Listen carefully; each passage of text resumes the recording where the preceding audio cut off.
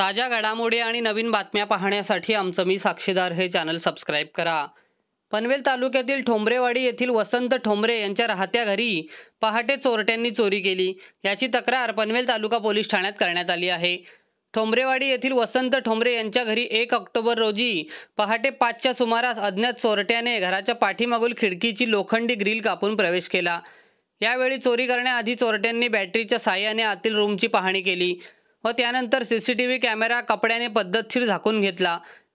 घरात प्रवेश करून रूममधील कपाटाची झाडाझडती घेतली व दोन रूममधील हँगरला लावलेले कपडे काढून त्यामध्ये काही आहे का हे पाहून कपडे हॉलमध्ये टाकून निघून गेले.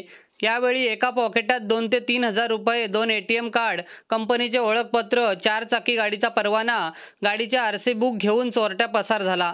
याबाबत पनवेल तालुका पोलीस ठाण्यात तक्रार दाखल करण्यात आली आहे. यातील फोटो ओळखून जो वसंत ठोंबरे यांना माहिती देईल किंवा चोराला पकडून देईल त्याला पाच हजार रुपये इनाम म्हणून देण्यात येतील असे आवाहन करण्यात आले आहे.